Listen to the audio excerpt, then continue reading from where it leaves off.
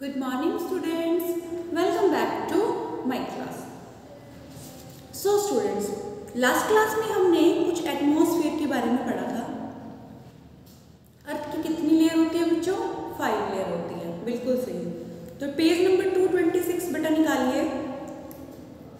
The atmosphere help use in many ways atmosphere का use कैसे किया जाता है बेटा? बहुत से वेज के लिए किया जाता है। देखिए it protect the becoming too hot by preventing the entry of large part of sunlight from reaching the earth. Earth क्या करता है बेटे? अर्थ जो हमारा बहुत हॉट होता है, बहुत गर्म होता है, इसलिए ये क्या करता है? जो मतलब जैसे हमने ओजोन लेयर की बात की थी, याद है आपको? ओजोन लेयर के अंदर क्या था कि अपनी जो ओजोन लेयर होती है, वो हार्मफुल गैसेस को क्या करती है? एब्जॉर्ब कर लेती है। उसी तरह से हमारी अर्थ भी क्या होती है? एक हॉट प्रिवेंटिंग होती है मतलब हॉट इसके ऊपर लेयर होती है। ये लार्ज पार्टिकल ऑफ़ सनलाइट को क्या कर लेता है? रीच कर लेता है। ठीक है रीचिंग होता है sunlight from reaching it protect us for harmful ultraviolet rays of the sun ये हमें हार्मफुल जो रेज होती है हार्मफुल रेज कौन सी होती है? Ultraviolet rays it protect us from meteoroids meteoroids can hole और crater in the ground in its हाँ जी। मेटेरोइड्स क्या होते हैं? हाँ जी, जो हमारे बेटा होल अगर ग्राउंड में कोई होल होते हैं, इनसे इनसे बचाने के लिए हमें मेटेरोइड्स क्या होते हैं? बनाए जाते हैं प्रोटेक्ट करते हैं। अच्छा प्रॉपर्टीज़ ऑफ़ एयर देखिए। एयर क्या करती है? हाँ जी इंपॉर्टेंट है, ध्यान रखना। ये स्पेस ऑक्यूपाई करती है, इसका वेट भी होता है, और ये प्रेशर भी एग्जर्ट करती है। अच्छा वेट कैसे बताओगे? किसी बैलून में आप एयर फिल करो, उस बैलून का वेट हो जाएगा। ना और इसी तरह से ये स्पेस भी ऑक्यूपाई करता है ना?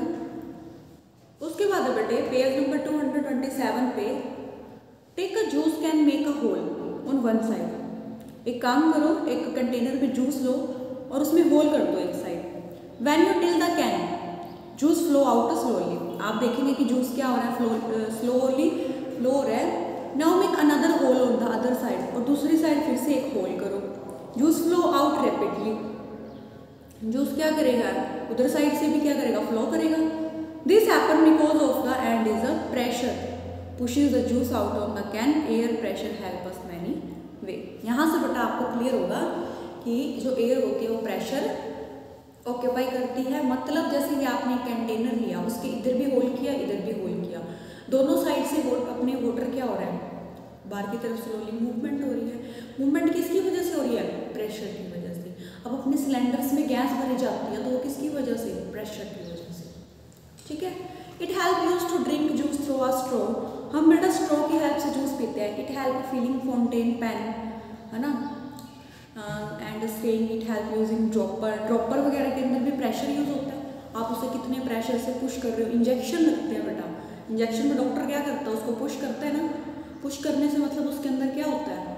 प्रेशर एक्सर्ट है। तभी तो वो जो मेडिसिन है वो आगे की तरफ़ मूव करती है।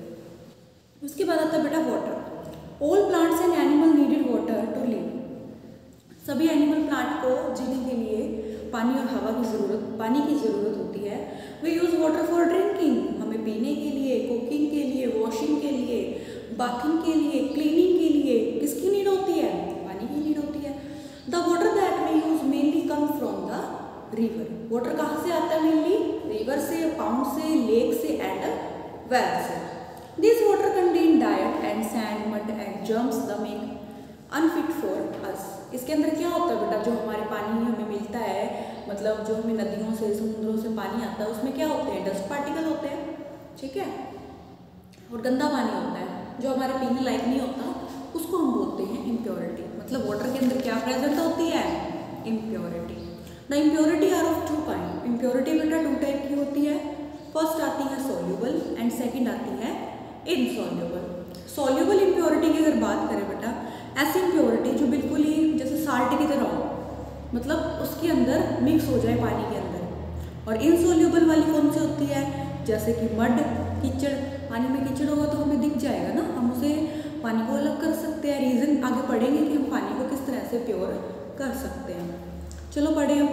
Soluble impurity dissolving water for example salt soluble मतलब घुल जाना, है ना? ऐसी इम्प्योरिटी जो घुल जाती है पानी के अंदर। और इनसॉल्यूबल कौन सी होती है? जो डिजोल्व नहीं होती। जैसे कि सैंड मड ये सारी क्या होती है बेटे? इनसोल्यूबल होती है। अच्छा सोल्यूबल को हम देख सकते हैं। अगर आपने पानी में नमक घोल दिया तो क्या आप नमक को देख सकते हो? नहीं देख सकते। वैसे ना अपने देख सकते हैं। अगर उसमें टॉर्च मारोगे ना तो आपको पार्टिकल्स दिखाई देंगे।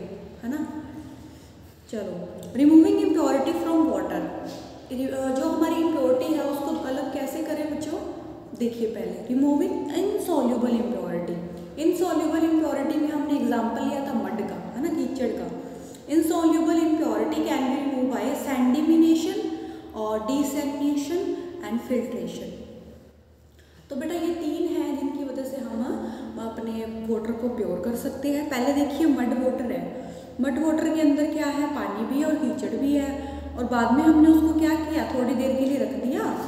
थोड़ी देर के लिए थोड़ा सा पानी जैसे हमने लेके रख दिया। थोड़ी देर बाद हम देखेंगे कि वो जो मड है, वो तो नीचे रहेगी और पानी क्या रह गया? ऊपर ऊपर रह गया इसी तरह से हम दोबारा से उसको क्या करते हैं? क्लीन करते हैं। देखिए filtration process sedimentation and decantation हाँ जी। वाटर विद देखिए बेटा ध्यान से। Water with insoluble impurity allow to stand हाँ जी, इसके बीच में स्टैंड भी लगाएँगे अपने। After some time insoluble impurity settle down यही तो मैंने बोला कि जो हमारी इनसॉल्युबल जैसे कि मड है, वो क्या करेगा? सेटल डाउन नीचे की बैठ जाएगा। And the container as be sedimentation जो कंटेनर के अंदर हमने ये काम किया है कि मतलब मड नीचे की तरफ़ बैठ गया है तो उसको हम बोलेंगे सैंडिमिटेशन एंड आफ्टर सेडिमिटेशन के बाद जब हम वाटर को क्लीन और क्लीन करते हैं स्लोली पोरोड में, तब क्या होता है बेटे? उसे हम बोलते हैं decantation the rate of sedimentation can be improve by adding chemical like alum आप क्या कर सकते हो? और भी ज़्यादा इसको प्योर करना है तो आप इसमें अल्लम यूज़ कर सकते हो। This process is called loading जब आप अल्लम डालते हो क्लीन वाटर के अंदर, तब और भी ज़्यादा प्योर हो जाता है, जिसे हम बोलते हैं लोडिंग उस प्रोसेस को बोलते हैं loading alum particle attach themselves impurity thus making them heavier इससे क्या होता है बेटे? अल्लम जो होता है, वो इम्प्योरिटी को क्या कर लेता है? एब्जॉर्ब कर लेता है। एक मिनट पढ़िए बेटा आप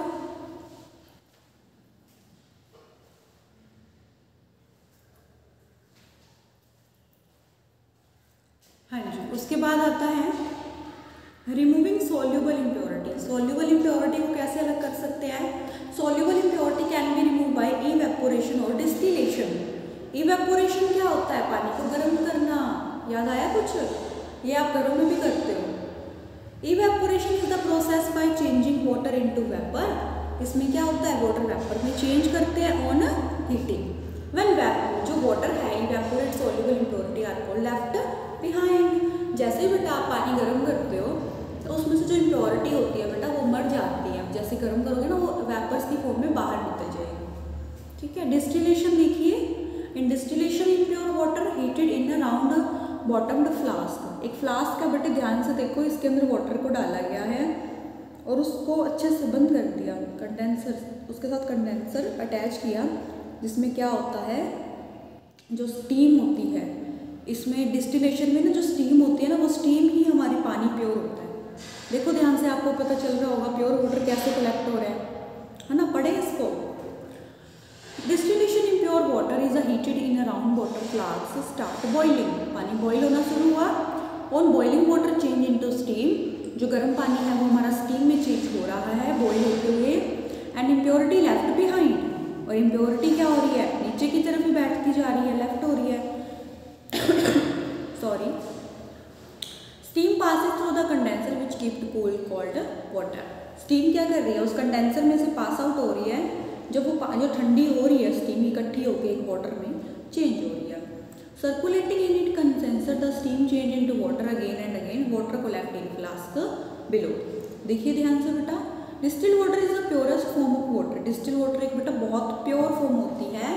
It is use in car battery इसका यूज़ कहाँ किया जाता है बेटे? कार में बैटरीज में। हमारे जो इन्वर्टर्स होते हैं, उसमें यूज़ किया जाता है। एंड साइंस लेबोरेटरी और इसका यूज़ कहाँ किया जाता है? साइंस लेबोरेटरीज में भी किया जाता है। ये इतना प्योर वाटर होता है बेटे कि हम इसको पीते नहीं है है ना?